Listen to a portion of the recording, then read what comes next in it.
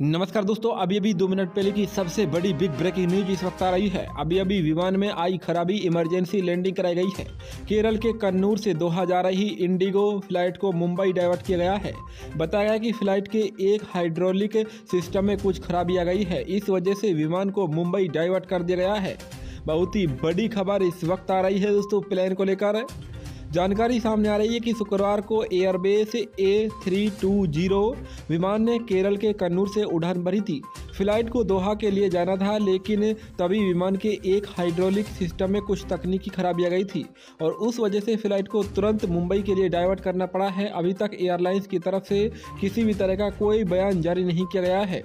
सिर्फ़ इतना कहा गया है कि क्रू ने उड़ान के दौरान तकनीकी खराबी नोटिस की थी और इसी वजह से फ़्लाइट को मुंबई डाइवर्ट किया गया है। अभी के लिए यात्रियों के लिए दूसरे विमान का इंतज़ाम किया जा रहा है। अब पिछले कुछ समय में कई ऐसी घटनाएँ सामने आई है जहाँ पर विमानों की इमरजेंसी लैंडिंग हुई हो या फिर जहाँ पर विमानों में कोई तकनीकी खराबी आई हो।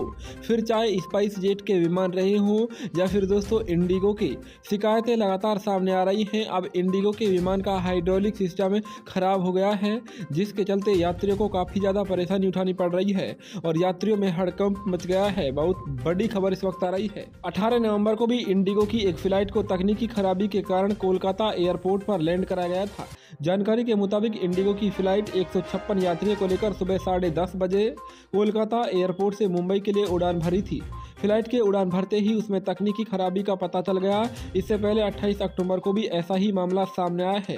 इससे पहले दोस्तों स्पाइस जेट की जो फ़्लाइट हैं, उनको डीजीसीए ने दोस्तों बंद कर दिया है, क्योंकि उनमें सबसे ज़्यादा दिक्कतें आ रही थी।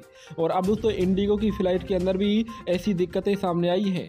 तो बहुत बड़ी खबर आप सभी अलर्ट रहें, सुरक्षित रहें, अपनी राय कमेंट में लिखें, चैनल को सब्सक्राइब करें।